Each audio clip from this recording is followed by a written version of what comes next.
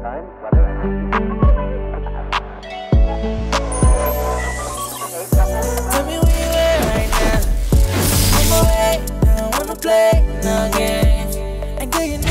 What's going on, plugins? Welcome back to another video. In today's video, I'm going to talk about BYU basketball and the NCAA. Before we get into this video, make sure you drop a like. And if you're new here, sub to the channel and become a part of the family. Now, let's get into the video.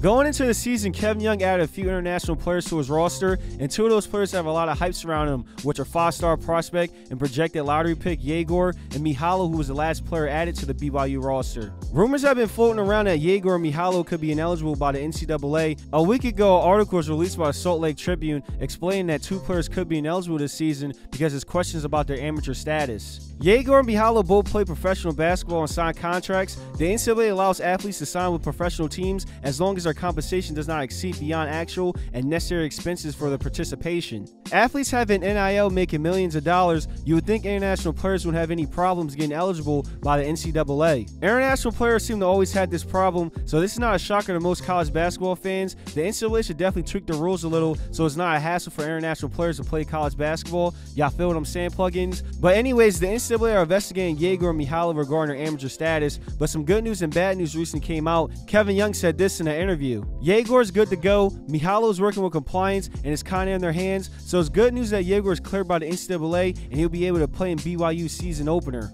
He's going to be BYU's most impactful player. The coaches have been raving about how good he is, and fans got to see him during the scrimmage, he showed flashes that he's going to be a superstar. If Egor wasn't cleared and had to miss a few games, this would have really hurt their season, but thankfully that didn't happen. Now, Mihailo's situation seems like it's going to be a problem. His situation seems more complex, and it could take some time before he's cleared. Kevin Young said this I don't know what the sticking points are. There are a lot of rules that are changing every day in that space, so I'm leaving it to the people who know what they're doing. So Kevin Young is basically hoping for the best at this point. BYU fans better hope this doesn't turn into a Zvonimir situation. Zvonimir was an international player that Coach Cal got to play for Kentucky last season, but the NCAA didn't clear him right away, which resulted in him missing a few games that season. That situation was a nightmare for Kentucky, and the reason he wasn't cleared was because there was an issue with a test score for an exam he had to take before he was enrolled in Kentucky. So Mihailo getting cleared to play could get dragged out. The NCAA probably has to reach out to the team he played professional basketball for, and that could take a while. Right now, we don't know all the details of what the NCAA is looking for, but my assumption is they probably want to see what his contract was that he had overseas,